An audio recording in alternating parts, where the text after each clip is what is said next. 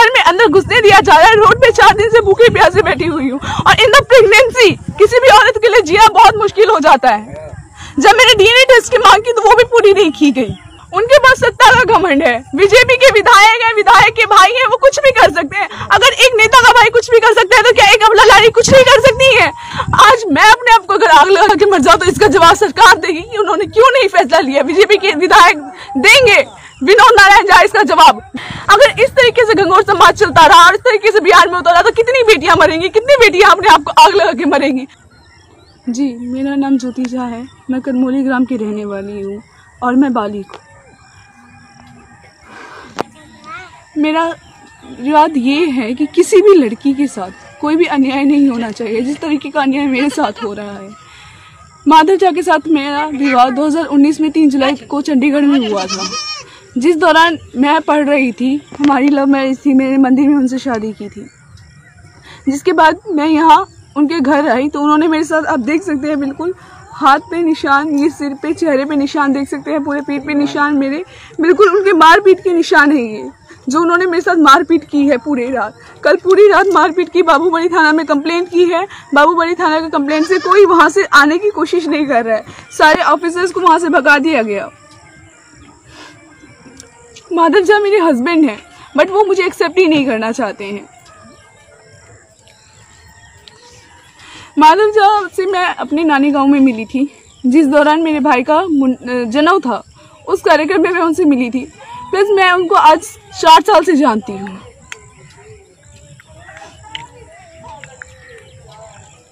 जी, हम दोनों की शादी हो चुकी है। जैसे कि मैंने आपको पहले बताया, तीन जुलाई 2019 को हमारी शादी हुई थी। चंडीगढ़ में।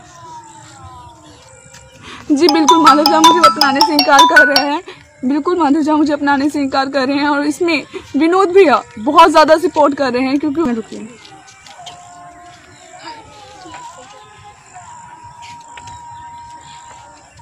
जी, जैसे कि विनोद नारायण झा की वजह से मुझे बिल्कुल सपोर्ट नहीं मिल पा रहा है क्योंकि वो विधायक के भाई हैं। अगर वो एक विधायक के भाई हैं तो क्या एक लड़की समाज के लिए लड़ नहीं सकती है। क्या उस लड़की को इंसाफ नहीं मिल सकता है? मैं आज चार दिन से रोड पे बैठी हुई हूँ। धरने में भूखे प्यासे हम लोग बैठे हुए हैं। लेकिन मुझे कोई रिस्पॉन्स नहीं दिया जा रहा है। रात में भी मेरे साथ मारपीट की गई, जिसका मैंने आपको विंस दिखाया है। बिल्कुल अब ये लोग, आप देख सकते हैं। बिल्कुल कट्स के निशान यहाँ पे आप देख सकते हैं। और बिल्कुल मेरी पूरी पीठ पे स्वेलिंग है। आप मेरे सिर पे निशान देख सकते हैं। जिससे उन्होंने मेरे साथ मारपीट की और इसके गवाह हैं थानेदार। और आज थानेदारों ने बिल्कुल कहा कि उनको रोड पे छोड़ दिया जाए और वहाँ से निकल जाया जाए। माधव झा का इनकार करने का एक ही मतलब है, उनका फादर का कहना है कि मेरा बेटा बीस लड़कियों के साथ रहता है तो क्या मैं बीस की बीस को घर में रख लूँगा? वो लड़का है, वो कुछ भी करेगा तो क्या मैं एक जनता से ये सवाल पूछना चाहती हूँ कि वो लड़का है तो वो कुछ भी कर सकता है? अगर हम लड़की हैं तो वो हमारी ज़िंदगी बर्बाद कर सकता है, लेकिन हम कुछ नहीं कर सकती हैं। अगर वो हाई पोस्ट पे है तो उनका समाज साथ देगा, बिल्कुल साथ दे रहा है। जी नहीं, बिल्कुल, पुलिस प्रशासन बिल्कुल भी मदद नहीं कर रही है। बाबूबली थाना ने तीन कांस्टेबल्स दिए हुए थे, जो बैठ के मेरी मारपीट देख रहे थे कि जो माधव झा मेरी पिटाई कर रहे हैं, वो देख रहे थे, घर के अंदर एंट्री नहीं करवाई गई उनके आगे जो वहाँ के मिश्रा जी, सुभाष मिश्रा, जो सब इंस्पेक्टर हैं, वो हाथ जोड़ के चले हाथ जोड़ते हुए विनती करते हुए उनकी वीडियोस भी हैं उनके कांस्टेबल्स के पास। हाथ जोड़ते हुए विनती करते हुए नज़र आए कि भाई साहब, आप घर में मैटर सॉल्व कीजिए। उनकी कोई कार्रवाई नहीं की गई। जिस वजह से इतने दिन में मीडिया दो दैनिक जागरण, दैनिक भास्कर दो आ चुके हैं, लेकिन कोई न्यूज़ नहीं छापी गई। मिथिला मिरर भी यहाँ पे आए, लेकिन कुछ नहीं किए क्यों? क्योंकि मिथिला मिरर मामा उनके मामा जी थे और उनकी मासी के भागिन थे। अगर रिश्तेदार ही न्यूज़ चैनल्स में देखने लगे तो हम लोगों को इंसाफ कहाँ से मिलने वाला है? किस चैनल के पास हम लोग जाए और कहाँ जाए? नेताजी, जो माधव जी हैं, जो मेरे हस्बैंड हैं, पति, जो मेरे माधव जी हैं, घंघोर गाँव के रहने वाले हैं वो उनका और विनोद विनोद नारायण झा, विधायक बीजेपी, वो उनके भाई हैं।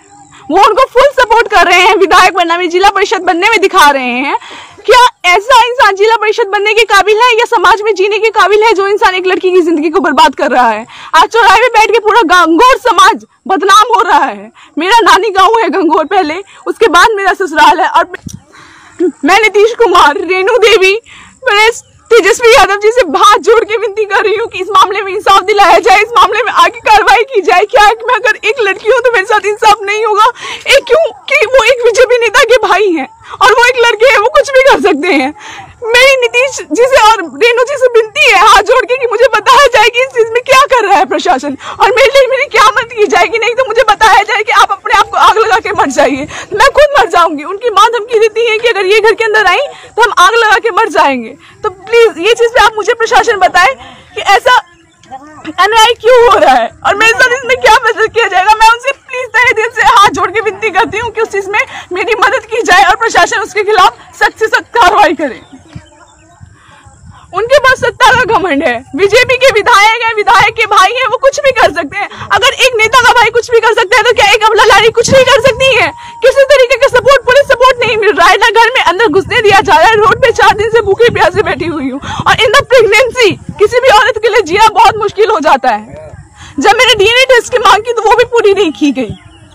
जी बिल्कुल, माधव जी की फैमिली से मेरे इतने अच्छे रिलेशन बीच में रहे हैं जबकि उनकी बहनों को मैंने ज्वेलरीज कपड़े, उनके भागिन हुई थी मेरी भतीजी हुई थी उसको कपड़े बिल्कुल और उनकी मम्मी से वीडियो कॉल पापा से वीडियो कॉल चैट्स लगातार करते रहते थे और इतना प्यार था एकदम से इस प्यार को क्या नज़र लग गई एकदम से पैसे की मांग करने लगे ये पच्चीस लाख की मेरे से मांग करने लगे उसके बाद मारपीट करने लगे।